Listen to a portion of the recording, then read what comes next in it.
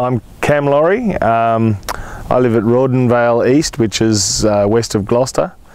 Um, my family have been farming the area since 1840, um, but I have just been operating my, my side of it for the last three or four years. Uh, we breed calves to be sold to the European Union market. Um, as you can see behind me, it's been fairly heavily cleared. It was by my family when they first came here. So uh, one of my aims for my farm is to bring some of the magic back into it in, in the magic in treed areas and also wildlife. So hence the tree project, which you can actually see away in the distance, the lines on the ridge.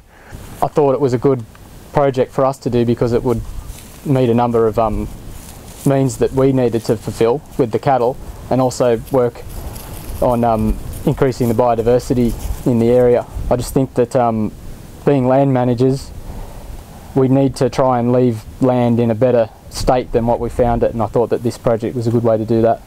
There are 17 and a half hectares of trees in the tree lots um, and they basically run north-south.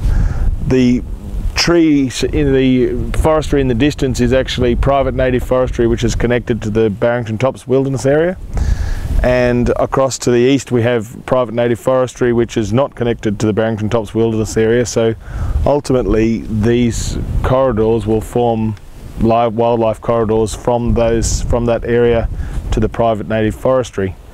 There's some practical aims as well. It's protection for the cattle, it's protection for the pastures. It's rainfall that, that seems to follow the tree lines. We can often notice in this wider valley that, that it's raining around the mountains but it's not raining out in the open valley. So a, the attempt here is to, to try and bring in this in a changing climate, try and bring some of the, the available rainfall back into the places where the cattle are grazing. Here you see a shelter belt that we've planted uh, on top of the ridge uh, the idea being that we're trying to uh, st stop some of the wind, which you can probably see. There's the, the trees are moving around in the wind today. Um, we're trying to also get the cattle so that they can actually come and shelter underneath these trees on the in the lee of the trees on the eastern side of them so that they'll bring the fertility back to the top of the hill. And the um, shelter belt will also help the pasture out as well just by stopping the wind from coming and drying it out. When you decide to uh, do a uh, tree project, it's a good idea to actually just see what sort of trees you've already got living on your place. So it's a matter of actually getting choosing um, species that are, are, are going to be happy to live here. So here we have some of the remnant remnant trees. And then, so we actually had uh, our local tree nursery come and look at the trees that are already here so that he could choose which ones to, to supply us. And you can see that we've, we've kept some uh, existing trees in there in the tree lot that we're obviously not going to cut them down. This is actually a good good example of the the whole project uh, has, um, got corridors of trees 24 metres wide. There's, there's six rows of four, four metres apart. So that's actually as 24 metres across to the existing fence line and then we have the two electric wires on this side. And if we just pan around a little further you can actually see this is some of the early part of the tree project that actually, the, the first bit we planted last winter, it actually goes uh, a kilometre and a half down along the, this ridge line.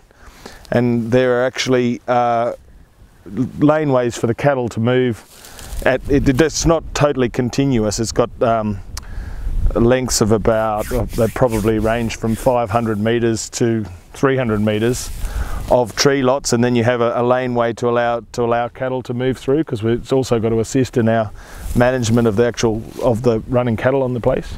There'll be no cattle going into the trees at all. So this um, is a cabbage gum and was planted last uh, end of last winter so it's just on 12 months old and it was probably this high when it was planted so it's grown pretty nicely. It's in amongst um, a fair bit of Setaria which you can see behind it we were a little concerned whether that would actually choke choke the growth, but it, it, appears to actually encourage it because it gets the trees to grow up over the top. Probably protected them from the frost a bit too during the winter. We did actually plough it, but we didn't deep rip it. Yep. And um, it's been a pretty good result. It's actually a, a low riparian area, which we've um, chosen. It's totally totally different idea to up on the top of the hills. It's just for shelter belt. It's also to try and help some of the, uh, the erosion which we've got further up the creek, and that is actually noticeably better from in a year since being fenced off. We're seeking diversity in this 40 square metre radius. We've got probably three or four different varieties of tree. It's difficult to plant in the dead of winter is probably one of the biggest things we've learnt. The um, frost can be pretty hard on seedlings. Um, our best result seemingly has been into uh, country we planted in the spring so that's been a bit of a learning curve for us another thing that we learnt we were told along the way that we needed to remove uh, or keep all the grass and and compete the competition down for the trees. I don't believe that's true really. Um, it depends, I suppose, a bit on the type of, of, of, of pasture you're talking about. Um, Kikuyu might be a bit of a problem to get trees to come up in because it's such a choking uh, invasive species. But uh, with the Setaria, which is which is largely the pasture that's out there, it, it appears to actually give a little bit of protection, almost form a barrier for the for the trees.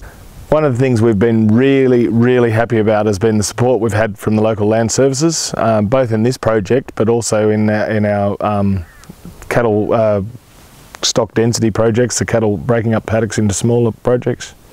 That's been really excellent, and um, they sort of they get what we're trying to do, and we get what they want us to get, which is really good. So we're, we're singing from the same hymn book.